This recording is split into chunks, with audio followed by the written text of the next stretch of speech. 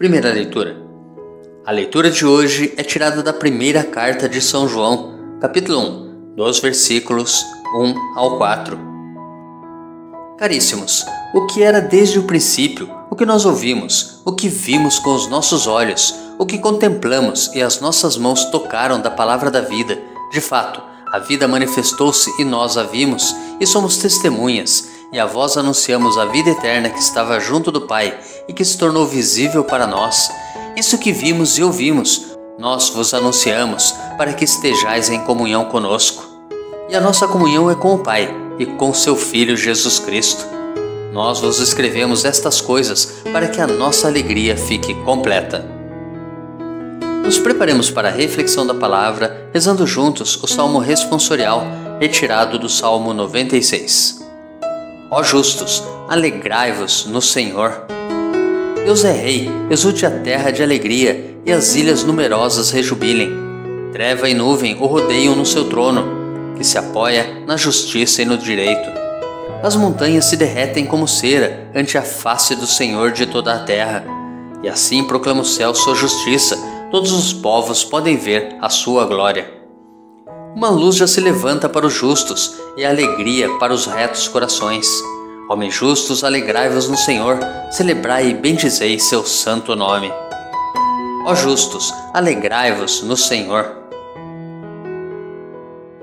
Evangelho o evangelho de hoje é tirado de João, capítulo 20, dos versículos 2 ao 8.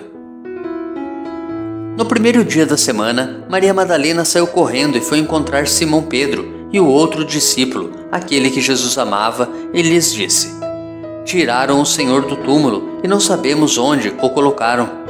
Saíram então Pedro e o outro discípulo e foram ao túmulo.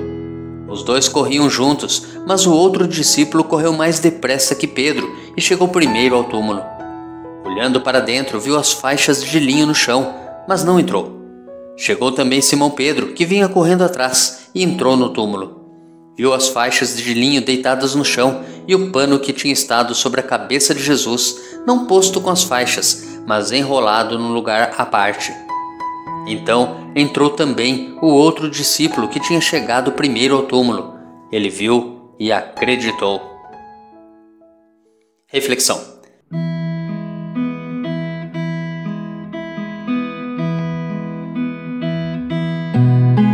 A igreja celebra hoje a festa de São João Apóstolo e Evangelista, em quem a tradição e a piedade reconheceram a figura do discípulo amado. O amado aparece pela primeira vez com a cabeça recostada no peito de Jesus, na ceia derradeira. Surge em intimidade com Jesus enquanto os outros se distanciavam pela falta de coragem de perguntar quem seria o traidor. O modelo de discípulo não foge nem se afasta do Senhor nos momentos dificílimos da prisão e da cruz. João, o amado do Senhor, permanece em amizade fiel a Jesus, na prisão e aos pés da cruz.